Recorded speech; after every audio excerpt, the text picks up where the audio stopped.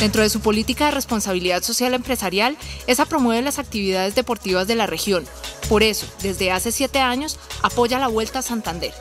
Pero, ¿cuáles fueron las etapas recorridas en 2015? Los recorridos dispuestos son la primera etapa Bucaramanga-Barichara, la segunda Barichara Vélez, la tercera Barbosa Mogotes, la cuarta Socorro Florida Blanca y por último la Contradelonte Florida Blanca y Bucaramanga.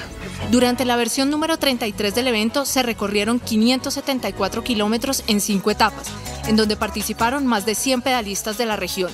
Pero, ¿cuál es la importancia de participar en estos eventos? Esperamos que sea un evento muy exitoso, que sirva para generar desarrollo, turismo, eh, movimiento comercial en todos los municipios del departamento y sobre todo despertar el interés de todas las generaciones futuras en practicar el ciclismo, ciclismo competitivo que nos permita a nivel de Santander seguirnos destacando en, en ciclismo a nivel nacional e internacional.